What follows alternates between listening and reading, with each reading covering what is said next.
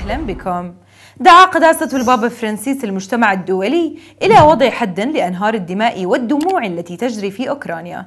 مناشدا الجميع بتقديم المساعدة الإنسانية لأخواتنا وإخوتنا هناك. إلى جانب تأمين ممرات آمنة للأشخاص الهاربين من الخوف وآلة الحرب. وقال قداسته بعد صلاة التبشير الملائكي في ساحة القديس بطرس في الفاتيكان إن الأمر لا يتعلق بمجرد عملية عسكرية وإنما بحرب تزرع الموت والدمار والبؤس مشيرا إلى أن أعداد الضحايا تزداد على الدوام.